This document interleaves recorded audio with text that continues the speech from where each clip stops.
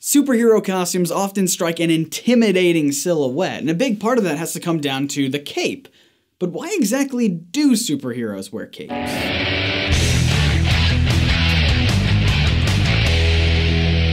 Welcome to Comic Misconceptions, I'm Scott, and this is part 3 in our 4-part series exploring why superheroes are designed the way they are. And if you want to check out the whole series, I put links to them right up here in the corner and in the description below. In this episode, let's tackle the large flowing capes of comic book superheroes. While fewer and fewer comic book characters are wearing capes these days for various reasons that were explored quite famously by Watchmen's Dollar Bill and Edna Mode from The Incredibles, no capes! They are still associated with many popular heroes like Superman, Batman, Thor, Vision, Magneto, and more. Some comic book characters wear capes simply because they serve a practical purpose, like Batman or Moon Knight, who use their capes to glide across cities, shield them from harm, disorient their enemies, etc. Artistically, they can serve the purpose of making characters look bigger and more menacing. Spawn comes to mind with his enormous flowing cape. These capes have also been brought up as an easy way for artists to show motion in a panel. They could show the physics of a scene, which direction a character is moving and how fast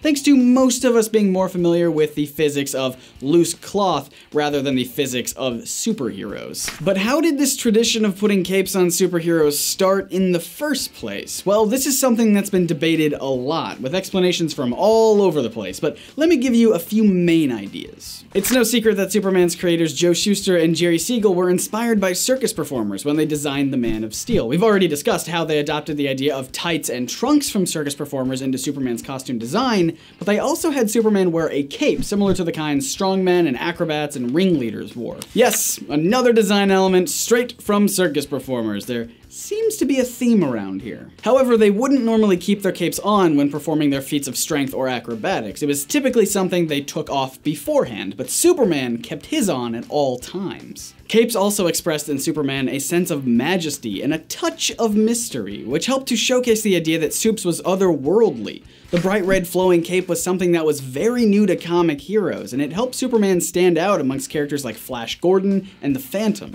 This majestic otherworldly quality can easily be seen in other comic book characters, if you want to read a little too much into things, which is what we tend to do around here. Capes can help symbolize outsider status. Heroes like Thor or Shazam wear capes to showcase that they are from different cultures. And you could argue that the capes of characters like Magneto and Vision similarly symbolize how they don't feel they truly belong amongst humans. Other characters, like Batman, were said to be inspired by swashbuckling films like The Mark of Zorro, which is even referenced in Bruce's origin. This movie starred Douglas Fairbanks as the titular character Zorro, a masked outlaw who sported a long, black, traditional Spanish cape a cape that he would also take off when the action was getting started. To be clear, all of this is not to say that Batman and Superman were the first heroes ever to have capes and everyone else is just copying them. There were pulp heroes before them, like the Shadow, who wore capes, but Supes and Bats were massive successes when they debuted, so it wouldn't be too much of a stretch to say that the two of them helped to standardize the choice for superheroes,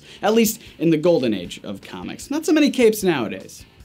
There was that show though, but... But now I want to know what you think. If you prefer your heroes and villains with capes, click right here. If you like your comic book characters to be sleek and capeless, click right over here. When you vote, you'll be taken back to our channel page where you can watch some more of our edutaining comic book videos that explore the history, science, and philosophy behind your favorite superheroes. And if you like what you see, you can subscribe so you don't miss the other videos in our superhero design series. So go ahead and vote already. I want to know what you guys think. Capes or no, uh, capes? capes? Choose now.